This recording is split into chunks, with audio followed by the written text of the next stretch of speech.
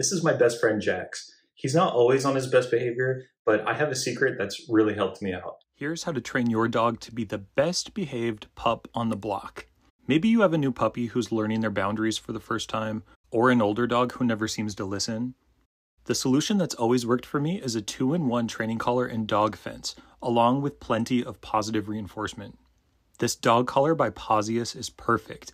In fence mode, the collar's advanced technology gives a little nudge to your dog if they go outside of the perimeter you set, anywhere between 15 to 1,000 feet.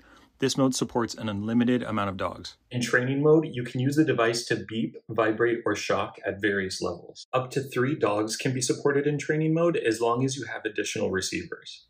Jax has learned that a vibrate means treat time, so we can always summon him from anywhere we want with a push of the button.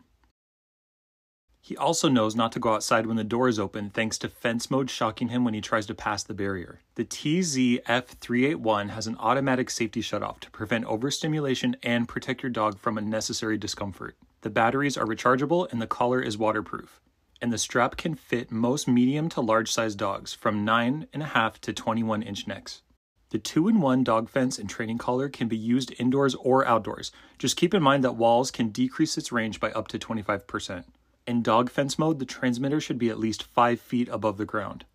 To set up your fence, turn on the transmitter, which is the remote, and the receiver, which is the collar. Then press M to switch to fence mode. Set the range, adjust the intensity, put the collar on your dog, then place the transmitter somewhere 5 feet above ground where it can stay dry. You can switch between dog fence mode and dog training mode by pressing the M button on the receiver. The collar can fit most medium to large dogs. The strap is adjustable from 9.5 inches to 21 inches. Now I don't worry when Jax is out on his own.